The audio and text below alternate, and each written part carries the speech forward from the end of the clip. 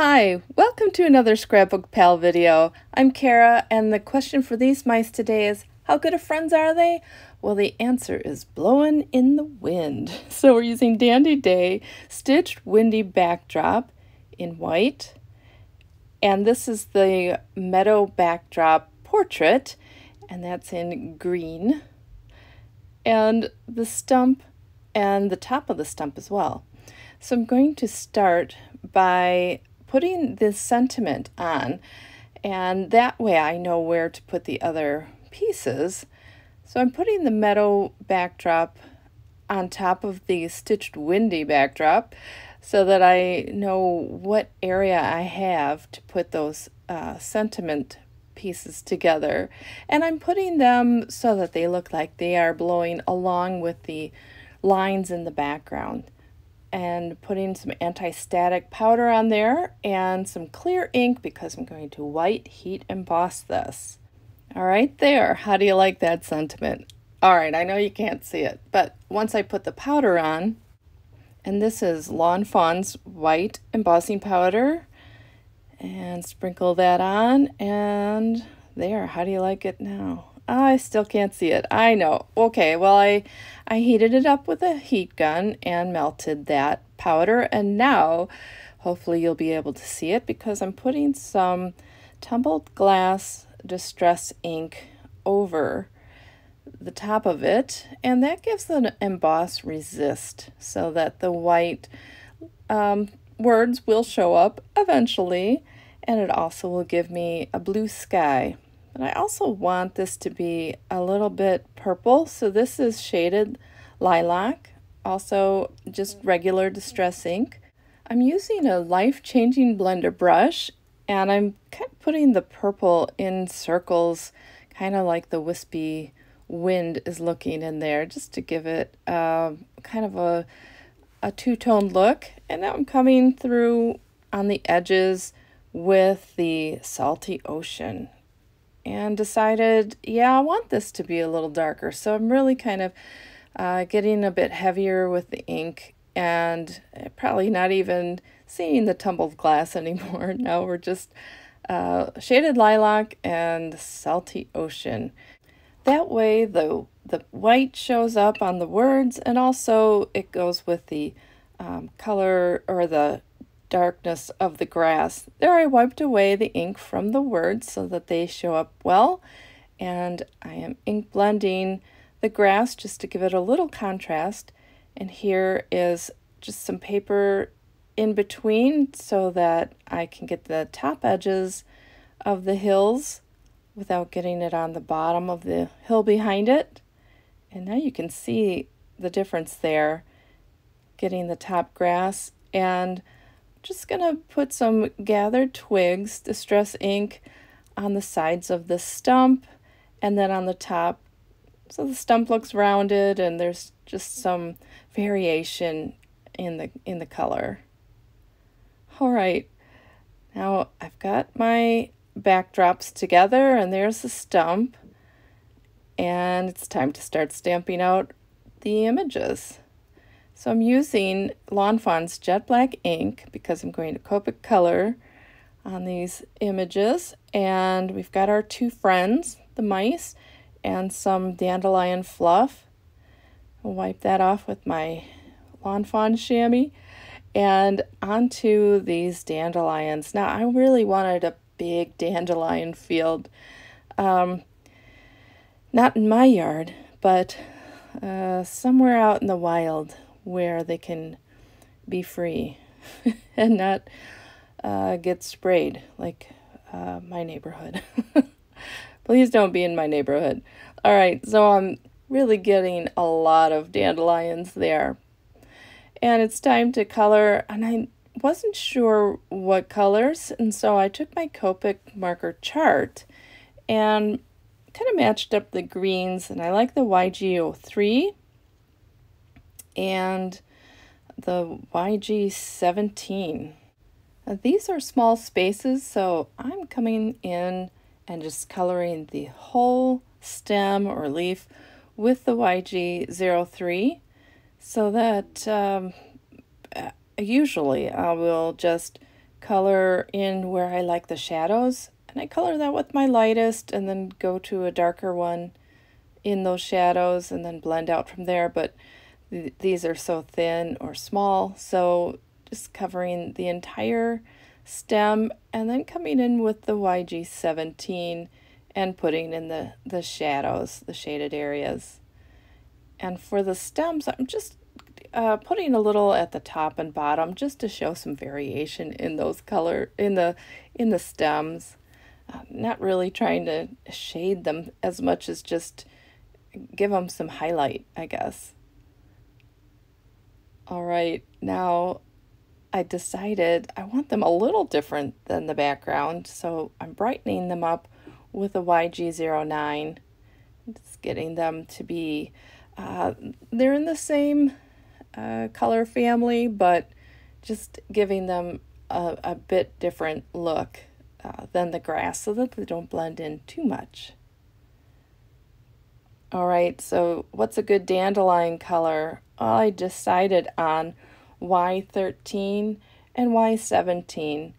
And I didn't use the Y15 because these are small areas as well, and I wanted a big contrast. So just skipped one of the colors.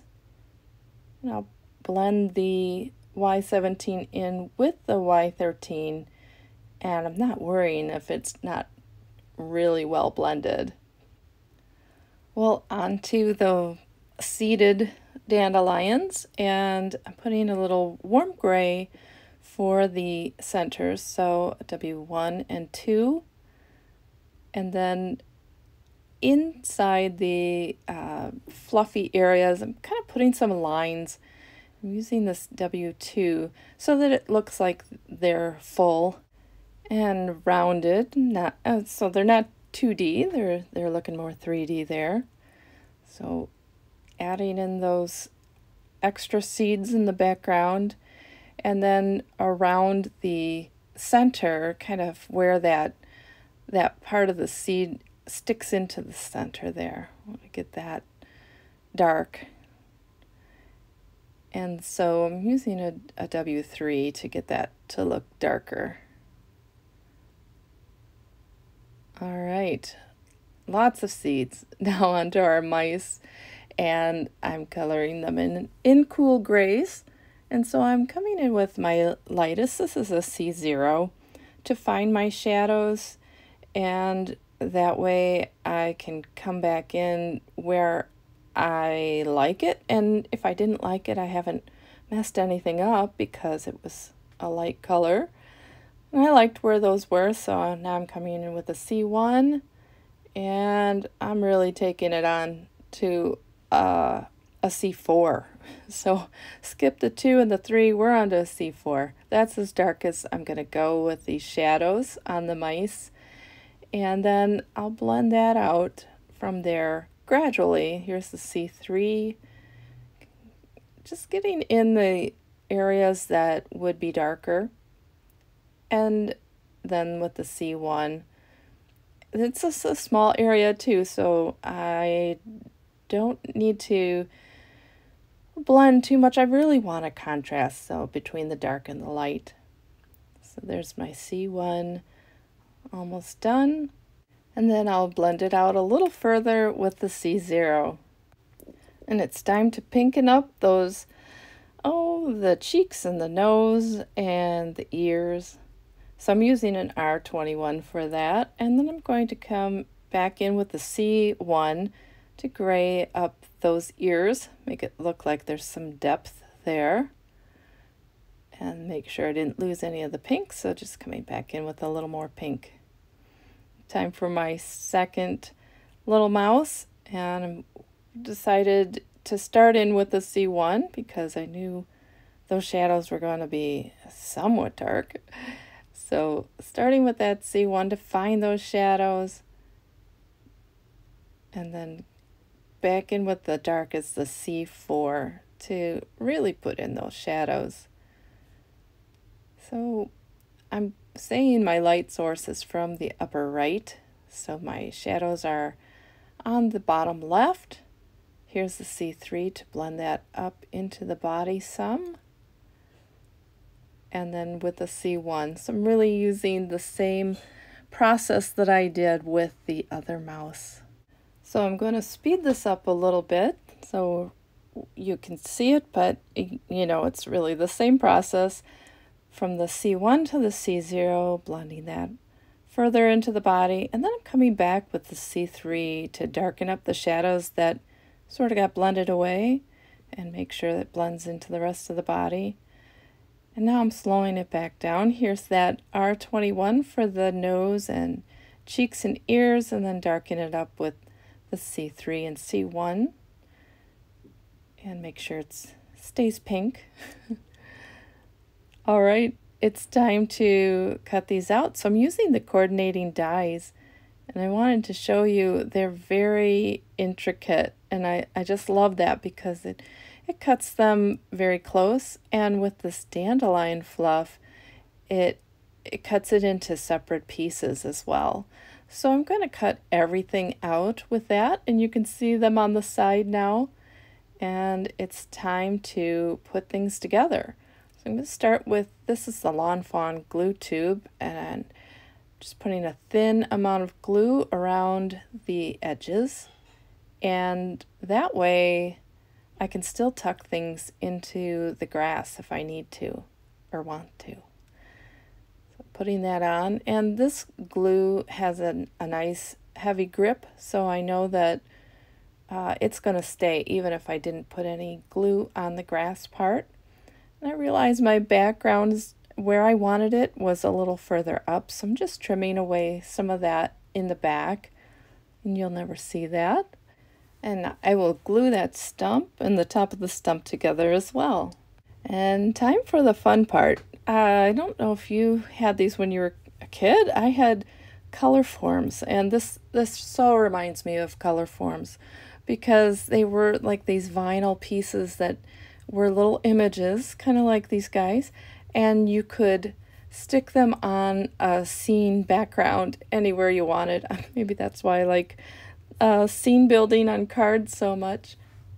But okay, here's our dandelion fluff, and uh, you can see they were cut into smaller areas. So there's three and one and two, and just deciding how they're going to flow uh, along with the sentiment. And then I've got a jewel picker here, just picking those up, putting a little dot of glue down, and then getting the dandelion fluff glued where I have that.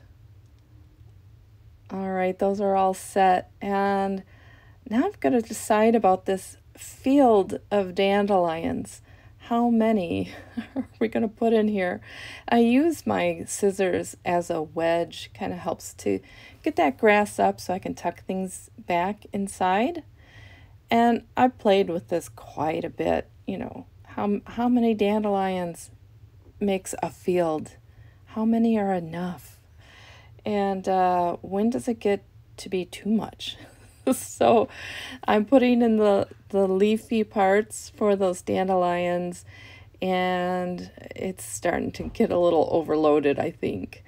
So I have the large dandelions in the front and the small ones in the back to give it a little perspective.